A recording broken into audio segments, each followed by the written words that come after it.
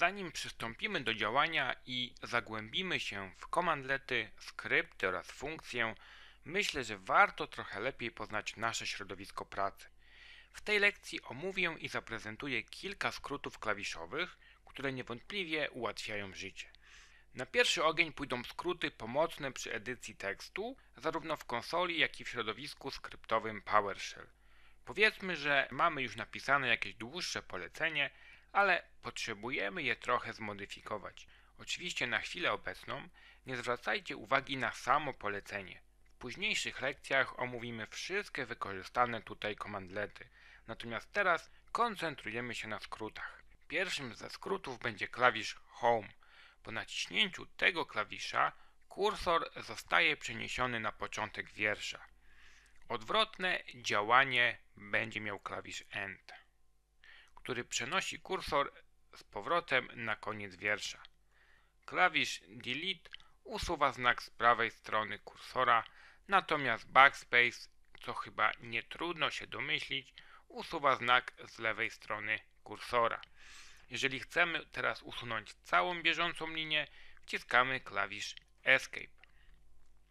Za pomocą strzałek możemy wyświetlić uprzednio wprowadzone polecenia, co zdecydowanie zmniejsza konieczność ponownego przepisywania ich. Strzałka w górę pozwala cofnąć się o jedno polecenie w historii poleceń, natomiast strzałka w dół o jedno polecenie do przodu. Kombinacja klawiszy Ctrl oraz Home usuwa wszystkie znaki z bieżącej pozycji do początku linii, oszczędzając znaki na prawo od pozycji kursora. Natomiast w przypadku kombinacji klawiszy Ctrl End mamy dosyć podobne działanie, z tym, że usuwane są znaki od aktualnej pozycji do końca linii. Klawisz F8 działa podobnie jak strzałka w górę, przeszukując historię poleceń. Dodatkowo za jego pomocą możemy zobaczyć wszystkie wprowadzone wcześniej polecenia zaczynające się od konkretnej litery czy wyrazu. Należy wpisać daną literę, na przykład niech będzie to litera G, a następnie wciskamy F8. Możemy zauważyć, że konsola automatycznie zwróciła nam ostatnie polecenie z literą G. Wciskając F8 kolejny raz otrzymujemy następne polecenie. I tutaj mała uwaga, gdyż klawisz F8 w środowisku ISE ma troszeczkę inne zastosowanie. Następną kombinacją, którą zastosujemy jest to połączenie Alt oraz F7 tym przypadku wyczyściliśmy historię oraz zresetowaliśmy licznik poleceń. Teraz jeżeli spróbujemy wcisnąć strzałkę do góry lub klawisz F8, w naszej historii nie ma już poleceń, dlatego nic się nie wyświetli. Kolejnym skrótem klawiszowym, który warto zapamiętać, jest to kombinacja Ctrl-C, która przerywa działanie czy też wykonywanie konkretnego polecenia. Zobaczmy to na przykładzie polecenia getCommand, które wyświetli nam wszystkie polecenia w PowerShellu, a zaznaczam, że trochę ich jest. Wciśnięcie kombinacji klawiszy Ctrl-C przerywa wykonanie polecenia. Jednym z najczęściej używanych skrótów klawiszowych niewątpliwie będzie klawisz tabulacji.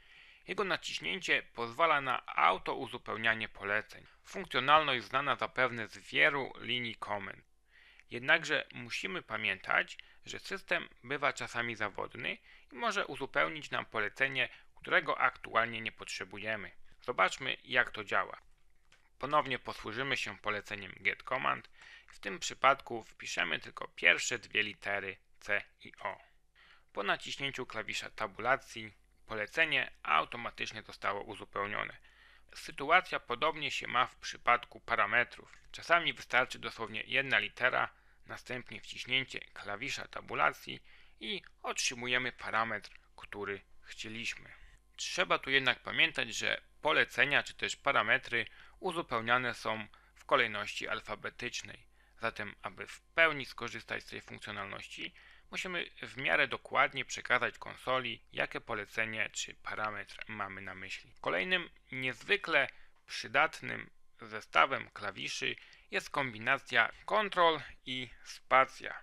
Kombinacja ta szczególnie przydaje się w momencie, gdy chcemy wyświetlić parametry, moduły czy też właściwości danego polecenia, jednakże nie jesteśmy pewni czy też nie pamiętamy całej składni. Zobaczymy to również na przykładzie polecenia getCommand, któremu postaramy się wprowadzić jakiś parametr. Zatem wpisujemy nasze polecenie, następnie myślnik i kombinacja klawiszy Ctrl plus spacja. Pod spodem wyświetlone zostały wszystkie parametry, które możemy wykorzystać z naszym poleceniem. W celu wybrania konkretnego wystarczy wybrać je i nacisnąć klawisz Enter. I to by było na tyle, jeżeli chodzi o podstawowe skróty klawiszowe do pracy z konsolą Windows PowerShell. Przejdźmy teraz do następnej lekcji, czyli budowy komandletów.